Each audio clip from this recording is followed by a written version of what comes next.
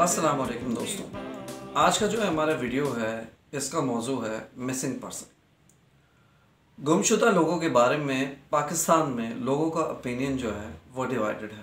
لیکن international media اس کے بارے میں کیا کہتا ہے، یہ جاننا بہت ضروری ہے۔ ایک پروٹیسٹ کی فوٹیج ہے، جو کہ ہم آپ سے چاہتے ہیں کہ ہم آپ سے شیئر کریں۔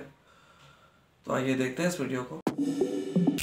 پاکستان میں جبری گمشدگی کی ابتدا، جنرل پرویز مشرف کے دور میں انیس سو ننانوے سے دو ہزار آٹھ کے دوران ہوئی۔ لیکن یہ الزام صرف پرویز مشرف پر ہی نہیں لاگو کیا جا سکتا کیونکہ یہ سلسلہ بعد کی بھی جمہوری حکومتوں کے دوران بھی جاتی رہا۔ انسانی حقوق کی تنظیموں اور defence of human rights Pakistan کے مطابق پاکستان میں لاپتہ ہونے کے پانچ ہزار سے زیادہ واقعات رپورٹ ہوئے ہیں۔ یہ مسئلہ ٹارگٹ کلنگ اور شہریوں پر کی گئی دہشت گردی کی سرپرستی کی ایک شکل ہے۔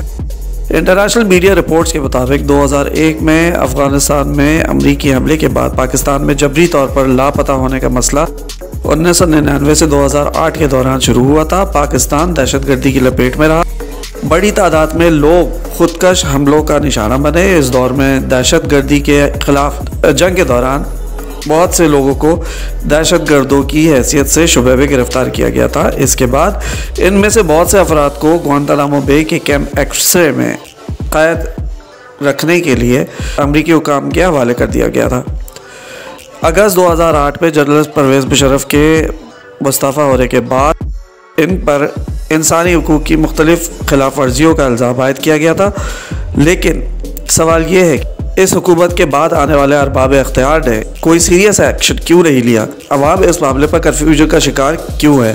انسانی حقوق کی تنظیم defence of human rights Pakistan کے مطابق لاپتہ ہونے کی تعداد تو پانچ ہزار تک کی جاتی ہے، مگر اس سے بھی زیادہ واقعات رپورٹ ہوئے ہیں۔ تاہم، ان کا کہنا ہے کہ غیر رپورٹ شدہ معاملات کی تعداد بہت زیادہ ہے۔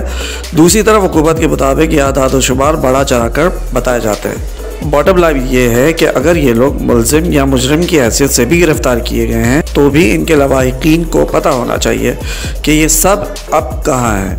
اپنے سیاسی اور انٹرنیشنل ایجنڈے کو پروموٹ کرنے کے بجائے ہم سب کو تمام اداروں کے ساتھ مل کر اس مسئلے کے حل کو دیکھنا چاہیے۔ اس مسئلے کا حل نکالنا چاہیے۔ بجائے اس کے کہ ہم اپنی فوج اور اپنی سیکیورٹی ایجنسیز کو اور اپنے اداروں کو گالیاں دیں، ہمیں چاہیے کہ ہم اپنے پیاروں کو غلط راستے پر جانے سے روکیں اور ایسی ایجوکیشن ایسے سسٹم کو سپورٹ کریں جس میں سب کو انصاف ملے اور قانون کو توڑنے میں اپنا حصہ مت ڈالیں۔ اس سلسلے کو ہمیشہ کے لیے بند کر دیں۔ لیکن ایسا بھی نہیں ہے کہ اداروں نے کوپریشن نہیں کی ہے۔ بہت سے ایسے افراد ہیں جو لاپتہ ہو گئے تھے، مگر سیکیورٹی اداروں کی مدد سے بازیاب کروائے گئے ہیں۔ اور یہ نمبر کسی حد تک ریڈیوس ہو چکا ہے۔ لیکن پھر بھی ایک بہت ہی بڑے لیول پہ جوائنٹ افرٹ کی ضرورت ہے۔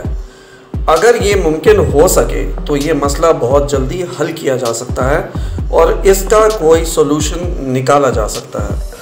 اللہ تمام پاکستانیوں کا حامی و ناصر ہو۔ آمین۔ اگر آپ کو یہ ویڈیو اچھی لگی ہے تو آپ اس کو لائک کیجیے، شیئر کیجیے اور ہمارے یوٹیوب چینل کو سبسکرائب کیجیے۔ ہمیں انسٹاگرام پہ فیس بک پہ آپ فالو کر سکتے ہیں۔ اب تک کے لیے اللہ حافظ۔ Long live Pakistan.